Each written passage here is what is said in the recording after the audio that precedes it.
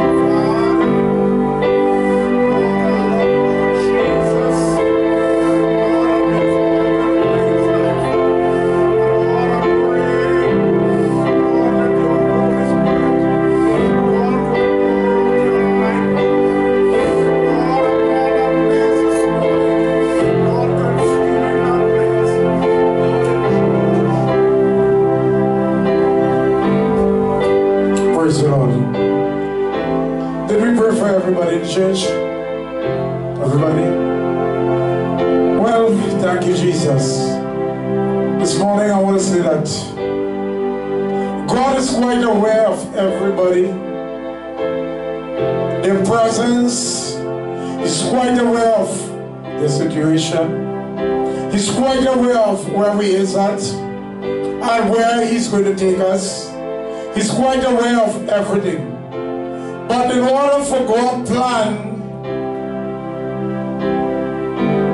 to become a reality in your life, in order for God's plan to come true in your life, the thing about it, you have to stay within Him. You have to stay in Him.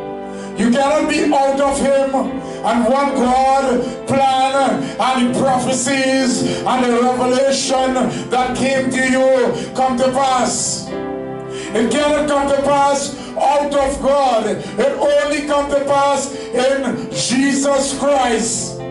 I want to use this word in Jesus Christ. I just do not want to say God because you might not know which God I'm talking about. I'm talking about the God that went to the cross and he shared his blood for you and I this morning. That is why the word of God said, and I walk through the valley of the shadow of death.